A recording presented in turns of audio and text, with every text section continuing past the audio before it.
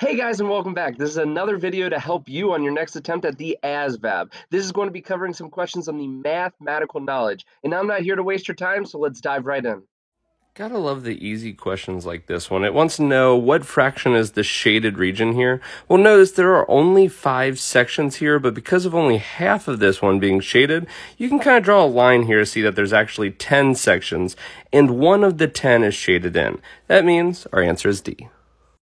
So in this case, it says 4 ounces is what fraction of a pound? It tells you 1 pound is 16 ounces. In other words, 1 ounce is 1 over 16 of a pound. But we have 4 of them, so we actually have 4 over 16 here, since we have 4 of these guys. Well, 4 over 16, if you divide both the top and bottom by 4, ends up giving you 1 fourth, which is answer C. Which has the smallest value? Well, because these are negative numbers, we want the largest number because that means that's the furthest in the negative direction that we could go. So which one of these is most negative? Well, half is less than 1, so that loses to this guy. 7 over 6 is more than 1 because 7 divided by 6 is bigger than 6 over 6, which would be equal to 1. So that means that this guy is larger than 1, meaning in the negative direction, it is further to the left. So our answer here is D.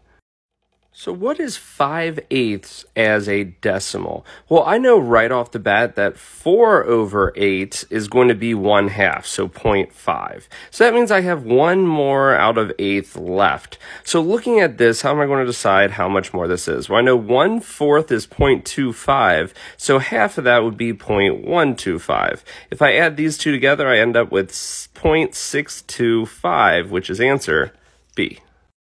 So for 22, they want you to take 5 over 9, and they want it to be rewritten as a number with 36 on the bottom instead. Well, to go from 9 to 36, we have to multiply by 4. So that means we have to multiply the top by 4 as well. 5 times 4 is 20, so that means our final answer here is B. So here's some more fraction work here. We got 2 and 4 fifths divided by 7. And in this case, the first thing I'm going to do is convert this to an improper fraction so then we can actually do the division. So how do I do that? Well, I take the whole number, multiply it by the bottom, and add it to the top. So 2 times 5 is 10, plus 4 is 14 over that 5. Then we're going to divide by 7. Lots of different ways you can do this as multiplying by 1 over 7 would be the same thing as dividing by doing the reciprocal, or you can just move it to the bottom knowing that you're dividing by it. Either way, this 14 and 7 are going to cancel out because 14 divided by 7 is 2, and it gets rid of the term down there, leaving our final answer as 2 over 5, which is A.